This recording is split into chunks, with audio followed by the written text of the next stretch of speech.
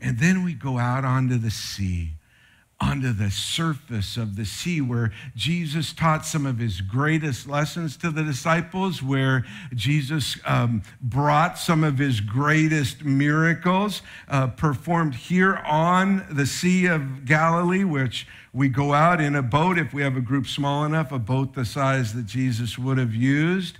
Uh, just for reference, if you look back, this is from the sea. If you look at where that uh, cute little red arrow is, that is Mount Arbel, where I started. That's the lookout point, the overview point. So from there, we get a bird's eye view of all this ministry area of the coast. And now from the Sea of Galilee, the, the surface of the lake, you can see back to Arbel. And so, two times that Jesus really, really moved on his disciples here. The first time was a fear transfer. Have you ever had a fear transfer? Jesus put his disciples in the boat in Luke chapter 8, and he created an opportunity for a fear transfer. Here's what happened they transferred their fear from the storm to the one who can calm the storm? Listen as I read Luke chapter 8, starting in verse 23, it says, Soon a fierce storm came down on the lake. The boat was filling with water, and they were in real danger. The disciples went and woke Jesus up, shouting, Master, Master, we're going to drown. That's their faith.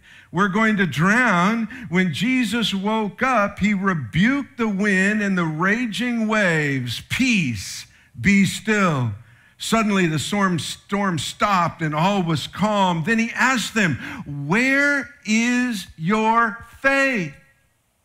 Where is your faith? Is your faith in the storm that you see or in the creator of the heavens and earth that is with you in the boat? Where is your faith? And then verse 25 says, The disciples were terrified and amazed.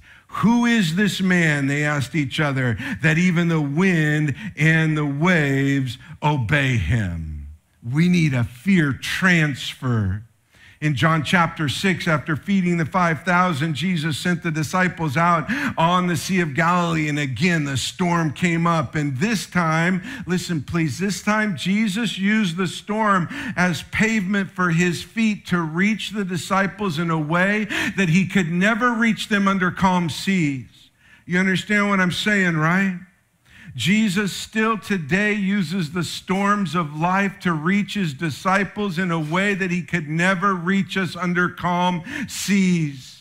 The storm was created by Jesus. I'm sorry to tell you, he sent the disciples into the boat so he could reach them at that critical time so their faith would be significantly elevated, to say the least. After